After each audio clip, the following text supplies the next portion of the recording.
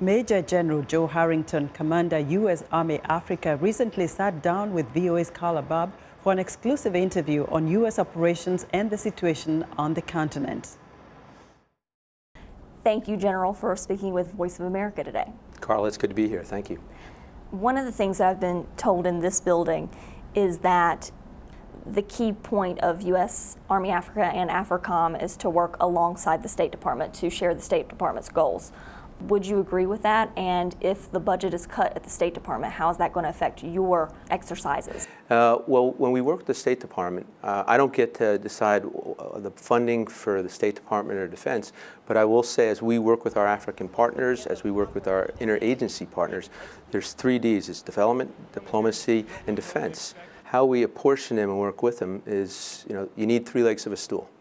How many countries yeah. do your soldiers actually touch? In the AFRICOM region, you have about 50. You have 53 countries that are on the continent. Uh, Egypt falls into the CENTCOM area. I, on any given uh, year, we touch anywhere from 40 to 45 of them, either in engagements or actual soldiers on the ground. Wow, and so how many operations is that roughly per year? The, the, the question is really how many activities do we do there? And somewhere in the order of 300 or so for U.S. Army Africa, and another uh, nine or 10 exercises we do with our African partners.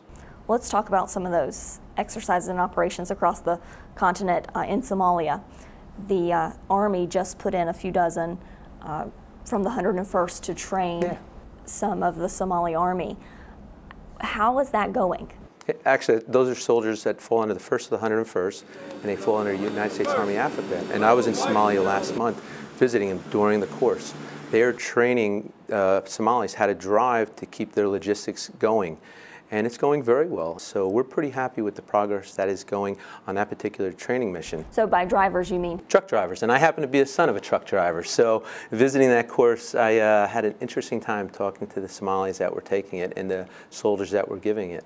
Do you see this continuing throughout your tenure oh, as the head absolutely. of U.S. Army Africa? Yes. Is that going to expand to other goals in the future? Well, like I said, I'm sending people there and we'll do an assessment. So we're all working together to understand what the problem is, and we're also working with our uh, mostly European partners on how we can help the Somali National Army be effective in securing its own population. For our audience that is wondering, why is he not talking about special operations and, and well, conducting easy, strikes? I'm not a special operations officer. tell tell our audience, please, the difference between special operations in Africa and U.S. Army Africa. Yeah, job. that's a that's a really good question, Carl. I appreciate that. Uh, but U.S. Army Africa, what I try to look at is how do we how do we look at a long-term approach to Africa? How do we help the professional capacity and capability of armies deal with their own problems? And the special ops, they're dealing in their special niche that they're very good at. What I'm looking at is the general purpose Army. How can we help them improve their security? How can we help them improve their professionalism? Does do the population run towards an army or run away from an army?